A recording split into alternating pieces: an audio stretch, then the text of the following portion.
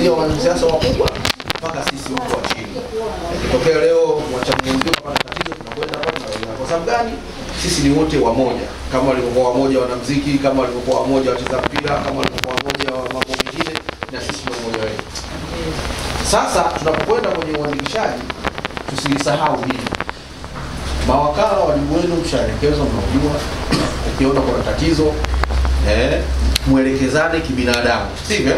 Wewe uliokosea kuwa tayari kupokea maelekezo ya wenzio, na wewe unaotoa maelekezo, toa maelekezo kwa maana unawapa maelekezo wanadamu wenzio. Tunaye eh, mwandikishaji wetu kitu hapa, yeye mwenzetu kapata training, kapata mafunzo, na seminar, anajua nini tutakuja kufanya, lakini na sisi tumetoka kwenye vyama vyetu tumepata training, tumepata seminar, tumepata mafunzo. Sisi wanasiasa tunajua kwa hapa, tunajua tuna Chama cha Mapinduzi ipo, eh, CUF ipo, ACT ipo, Chadema ipo, hivyo ndio vyama vyama vyama vyetu kwa hapa. Unaona bwana, vyama vilikuwa vingi sana, lakini vinaenda vina vinajichuja, lakini hapa kwetu tunapozungumza Kigogo, hivyo ndio vyama, lazima udugu wetu si tusiupuuze. Lakini tukasema eh, kuna jambo moja ambalo watu wengi wanaliwekea utata utata, na mwingine inakuwa watu hawaelewi kwamba uandikishaji ni kwa ajili ya wakazi.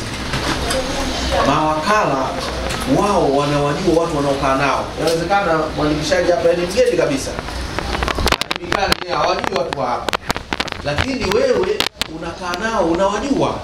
Kwa hiyo kazi yetu kubwa ya msingi ni kuonesha kwamba bwana, huyu sio mkazi, huyu ndio mkazi.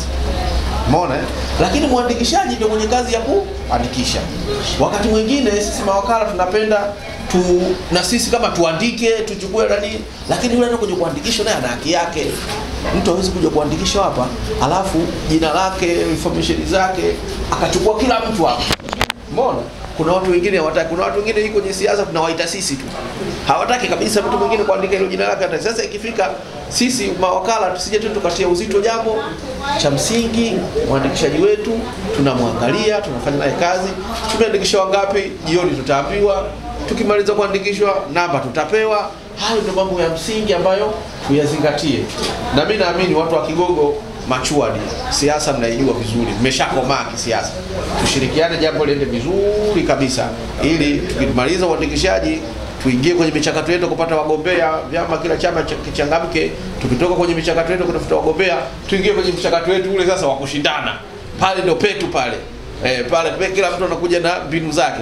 Kwa hiyo mimi niwatakieni kila la heri, endeleeni na jambo hili vizuri na mmeanza vizuri, maliza nao vizuri. Tunajua kuna changamoto ya mvua, lakini naamini wananchi watajitokeza hivyo hivyo.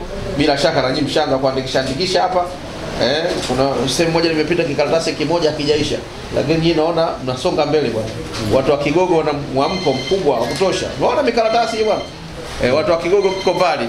Kwa hiyo muendelee muendelee kuhamasisha, na sisi mtendaji mm. tuhamasishe watu. Wengine wanasema wananchi bado hawana taarifa, na mimi nimekuja na vyombo hivi ili angalau kusambaze sambaze taarifa, kuambia watu waandikishaji kwamba ni jambo jepesi, na tunawahimiza kwamba kuandikishwa ni muda mchache sana. Nyinyi mmeona hapo, tuwaambie wananchi ni muda mchache, dakika moja unaandika unarudi zako. Eh, dakika moja unaandika unarudi, na hamna hamna mambo mengi unayotakiwa. Mawakala wako wanakujua, basi hata kama una kitambulisho utaandikishwa. Mawakala wakujui, una kitambulisho kwa kutambulisha kwamba wewe ni mkazi wa pale, utaandikishwa. Uongo jamani? Na watakieni kila la heri, asanteni sana. Asante.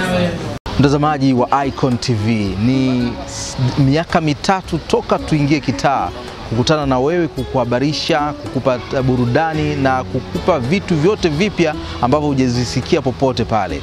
Na wakati huu wa mwaka wa tatu tukiwa tunasherekea miaka hii mitatu ya kuwa pamoja na wewe, tunakukaribisha sana na tutakuwa pamoja kwa ajili ya kuhakikisha tunaweka mikakati zaidi ya kuboresha yale ambayo tumekuwa tukiyafanya kwa wakati wote. Mimi Elikunda Materu, mtangazaji wa East Africa Television, nitakuwepo na Icon TV.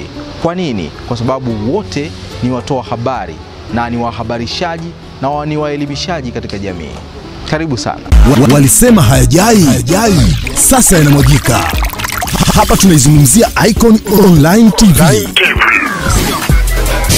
Tunajua safari ni ndefu, lakini tutafika. De Desemba 22 mwaka 2019 ambapo Icon TV ita, itakuwa inaadhimisha miaka mitatu toka kuanzishwa kwake. Yes, yes, yes. Hii ni zaidi ya birthday. Tutakula, tutakunywa na mwisho tutafanya dududua maalum kuiombea mema na mafanikio Icon TV. Tukutane Desemba 22 mwaka 2019 da, Dar es Salaam.